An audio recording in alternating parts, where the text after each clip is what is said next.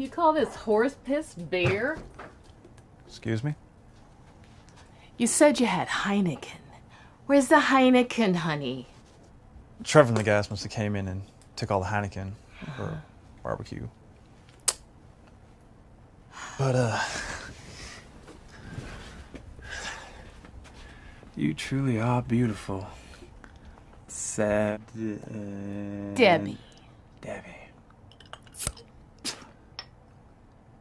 And truly talented. Them some bitches ain't gonna stop me. Oh, you're so funny, Melvin. The way you tell a story. Well, uh, you know, really it's Dewey that makes the story so interesting. You know, the way he can fix things. You know what your problem is, Melvin? What? You're too modest. At first, I couldn't see what the problem was.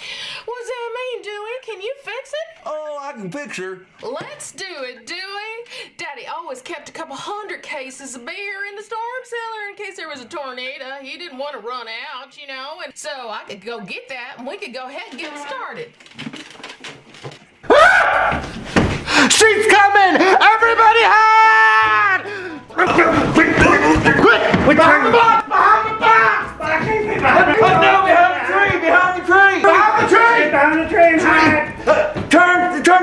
Turn sideways so you can fit her. Suck in your guts!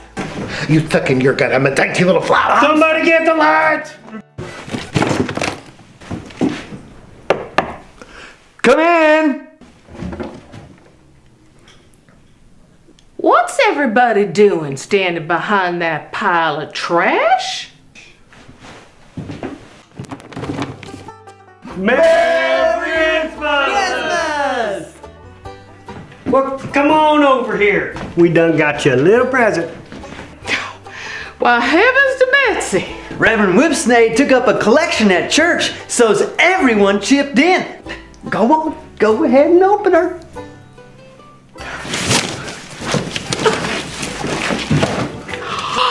Oh, this is the most beautiful turlet I have ever seen in all my natural born days. Woo! Oh, Always so classy. Oh, it's gonna be so soft when you sit down. And it's got all what you might call your amenities, including this pink fur seat. And we got her in pink to match your sheets. Oh, you sure know classy when you see it. And it's got a water fountain inside. That ain't no water fountain. It's called a bidet. And you use it for washing your hands when you're done finished with your business. Oh, yeah, it's called a bidet. Yeah. Oh. You made all my dreams come true. I think it's time for a toast. and it's got this stainless steel handle with a double reinforced chain shows it won't wear out as fast.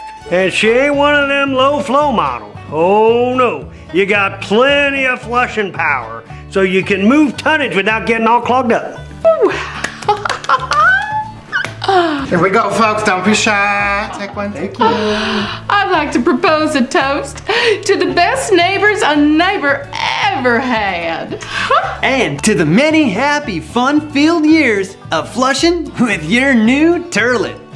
May she never get clogged again. Wow! wow. Dewey, you did an extra good job with your moonshine. It's my special holiday reserve. This is shaping up to be a really great Christmas.